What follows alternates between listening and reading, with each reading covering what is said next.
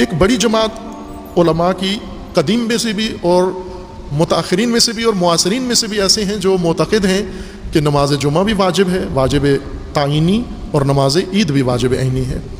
मशहूर तो बताने की ज़रूरत नहीं है चूँकि अक्सर जो फ़ुकहा हैं, उनका वही फतवा है कि वाजिब नहीं है।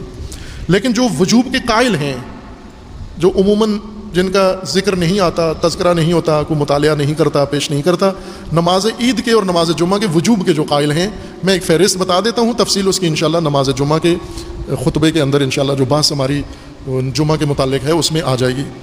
कदीम में सबसे पहली शख्सियत जो नमाज़ जुमा के वजूब के और फिर है कि जुमा की तरह ही ईद भी है, वो हैं शेख मुफीद रहमत अल्लामा मजलसी, दोनों मजलसी बाप बेटा दोनों मोहम्मद बाकिर मजलसी और मोहम्मद तकी मजलसी मोहम्मद तकी बाप हैं और मोहम्मद बाकिर बेटा हैं, जिनकी किताब है बिहारुल अनवार। ये दोनों बुज़ुर्ग बाप बेटा मोतद हैं कि नमाज़ जुम्मा भी वाजिब है और नमाज़ ईद भी वाजिब है। शहीद सानी, जिनकी बात नमाज़ जुम्मा में जारी है, ये बहुत बड़ी शख्सियात हैं। शेख यूसुफ़ बहरानी, ये बहुत अजीमरतबत शख्सियात हैं। हदायक नाजरा जिनकी किताब है मुतद फ़िक की किताब, हदीस की किताब है वो भी कायल है कि नमाज़ जुम्मा भी वाजिब है, नमाज़ ईद भी वाजिब है। सैयद सैयद मोहम्मद बिन अली अल आमिली साहब मदारक, ये बहुत चोटी के सफ़े अव्वल के फ़ुकहा में से हैं ये। ये भी मोतद हैं कि नमाज़ जुम्मा भी वाजिब है व नमाज़ ईद भी वाजिब है। फैज़ काशानी, साहिब तफसीर तफसीर साफ़ी जिन्होंने लिखी है, वो भी मोतद हैं कि नमाज़ जुम्मा भी वाजिब है, वाजिब तयनी और नमाज़ ईद भी वाजिब है। शेख मुर्तज़ा हायरी ये इमाम के समदी थे, इमाम खुमैनी के।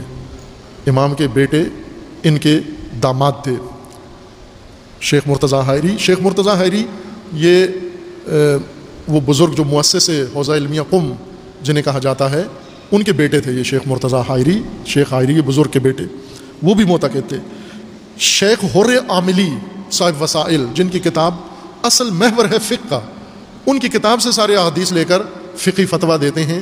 वो भी मोतद हैं कि नमाज़ जुम्मा भी वाजिब है व नमाज़ ईद भी।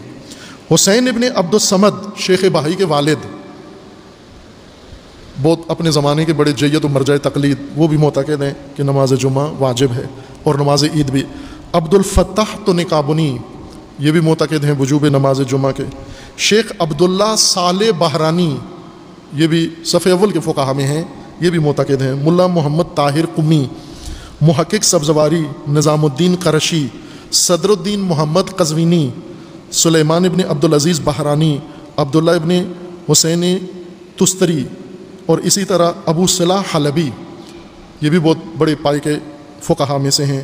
इमादुद्दीन और एक अभी कुछ अर्सा पहले इनकी वफ़ात हुई है बहुत आलिशान आलिम, बड़े सलीका आलिम और बड़े शफाफ बात करने वाले आलिम, जो न अदबी पेचीदगियों में बात को ले जाते हैं, न उमूमन जो उलमा का एक तरीक़ाकार होता है अगर और मगर और अलबत् और इन इन कोल तो कोल तो फलां फलां उलमा का एक तरीका होता है बात को घुमाने का। ये इस तरह नहीं करते, बिल्कुल इन झंझटों में पढ़ते सीधी बात पहले कर देते हैं, सीधी बात। इन्होंने विलायत फ़कीर पे बहुत मुजलदात काफ़ी बड़ी किताब लिखी है, और पहले सफ़े पर ही लिख दिया है कि ये नहीं लिखा कि विलायत फ़कीर साबित है या साबित नहीं है। पहला फतवा इनका ये है, निज़ाम हुकूमत इस्लामी कायम करना हर मुसलमान पर शर्य वाजिब है और हर वाजिब से पहले वाजिब है। ये इनका पहला फतवा है अपनी किताब में। वो इस तरह दो टूक बात करने वाले शाज नादिर लोग हैं। घुमा घुमा के तो सारे बात को पेचीदा फैला देते हैं, फिर समझ नहीं आती कहना क्या चाहते हैं ये। लेकिन ये इस तरह के साफ़ गो, इन्होंने दस जल्दें इमामत के मौजू पर इनकी किताब है। निसाब में पढ़ाई जाती हैं इनकी किताबें तोहद पर। हर बात में ये बहुत ही खूबसूरत और अलामा तबा तबाई के शागिर्द हैं, इमाम के भी शागिर्दों में से हैं। कुछ अर्सा पहले इनकी वफ़ात हुई है। सैयद मोहम्मद हुसैन हुसैनी तहरानी, कि इन कभी अल्लाह ताला तौफीक दे इनकी किताब, वही हुकूमत इस्लामी और उसके क़्याम, वो आपकी खिदमत में पेश किया जाएगा। गरज़ ये कि ये एक अहम मौजू है जो आप अज़ीज़, कम अज़ कम एक कौल के तौर पर एक नज़रिए के तौर पर यह भी जहन में रखें कि ये बाकायदा है। फ़िक शिया में सब के सब एक तरफ़ा मुस्तहब के कायल नहीं हैं। इस्तेहबाब का कौल इन बुज़ुर्गों के नज़दीक एक इजतहादी शुबह का नतीजा है। और वो इजतहादी शुबह यहाँ से पैदा हुआ है कि इमाम से मुराद इमाम हजत ले ली है, जबकि मुराद इमाम जमात है। यानी ये दो नमाजें जमात से ही कायम होगी। अगर जमात नहीं है, इमाम नहीं है तो फिर ये दोनों नमाजें नहीं होंगी।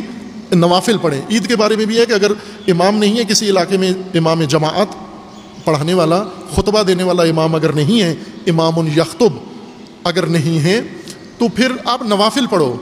जुमे के दिन ज़ोर की नमाज़ पढ़ो और ईद के दिन नवाफिल पढ़ लो। ईद के वक्त नमाज़ ईद नहीं होगी, न फुरादा होगी और ना किसी और सूरत में जमात ही के साथ होगी और जमात की शरात ये हैं।